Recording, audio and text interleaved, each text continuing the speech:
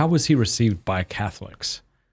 How was Chester received by Catholics? Yeah. Oh, they they were hurting themselves by crowing so much. They were so happy to have landed Chesterton in the church. But I could tell you there was one fear on the part of Catholics too, that somehow Chesterton was going to change, that he wouldn't be the same witty, joyful guy. That somehow the church would ruin him. Yeah. And so there was that. That was actually expressed by several writers, uh, Catholic writers, when Chesterton became Catholic. But for the most part, it was ecstatic. Uh, they were, there was just such, such great joy, especially from leading Catholic figures and, and bishops and archbishops. Now, he was probably aware of sort of intellectual heavyweights within the church, even as an Anglican, but did he find kind of fellowship among other intellectual Catholics once he came in? Well, the one he always w- was in fellowship with was Hilaire Belloc, who was yeah. Tell us know, about their an intellectual giant. And first of all, tell us who Hilaire Belloc is for those who don't know. Yeah, so um, you know, it's it's funny how history works. Sometimes you know there can be generations without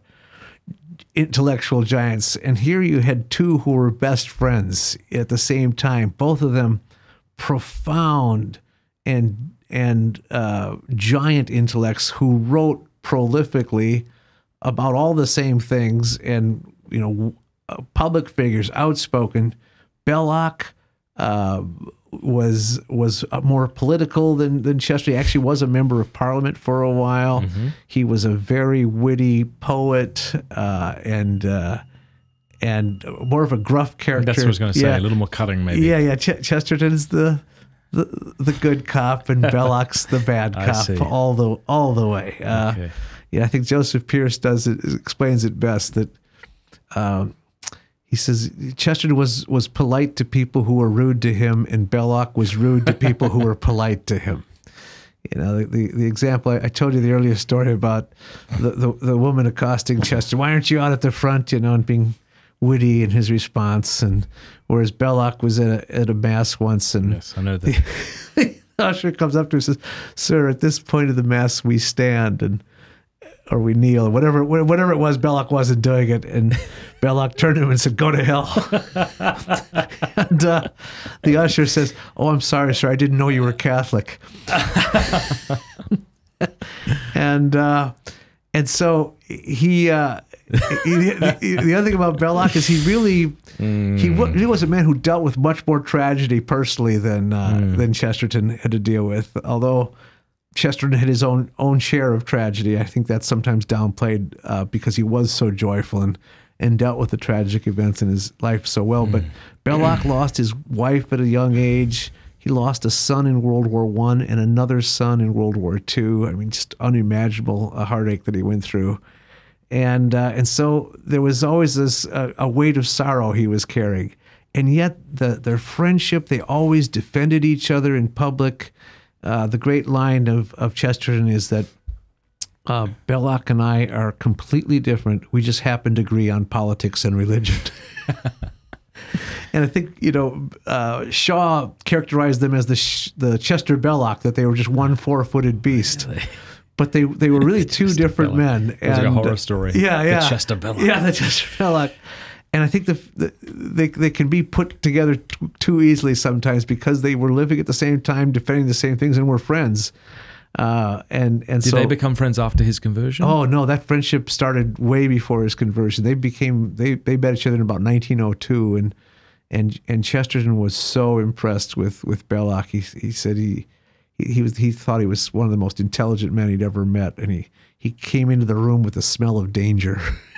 So he was this forceful personality to go with it, and Yeah. uh, I think in many ways Chesterton was in awe of Belloc. But Belloc in turn realized that there was nothing in the world like like Chesterton either, and, and he wrote these great, uh, wonderful poetic defenses of of Chesterton, the remote and ineffectual Don who dare attack my Chesterton. I was unaware. really funny, and uh, um, and then you know the bait, the the really great irony, Matt, was that Ch- Belloc never thought Chesterton would become Catholic, and never even believed that he should become Catholic. He he almost felt he was more effective Hmm. without being a member of the church and defending it as an outsider. That somehow gave him more credibility and and really was going to counsel someone against trying to talk Chesterton into becoming a Catholic.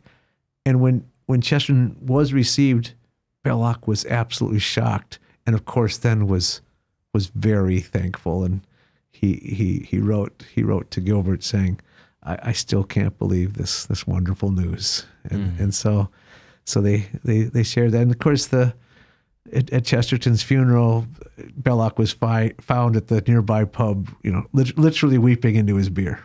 Hmm. Yeah. Yeah, I think for men to be best friends or to be very close friends, that the two of them have to almost want to be like the other one in one respect. You know, they have to really admire each Yeah, other. Yeah, that's a very good point. They they really do admire each other, and that's that's why they continue to support each other all the way. Yeah. I got to tell you guys about my new favorite app. It's called Ascension and it's by Ascension Press. This is the number one Bible study app, in my opinion. And uh, you can go to ascensionpress.com slash fradd. Go there. Uh, and so that way they know that we sent you. It is absolutely fantastic. It has the entire Bible there, very well laid out. The, the whole Bible is read to you by Father Mike Schmitz, or just sections of the Bible. It has the catechism there. It's cross referenced absolutely beautifully. It's really actually quite difficult to explain to you how good this is. Just download it and check it out for yourself. It even has over 1,600 frequently asked questions about scripture. So if you go to Genesis 1, you might have a question about evolution. Well, there's a drop down right there. You can read an article that'll help you understand it.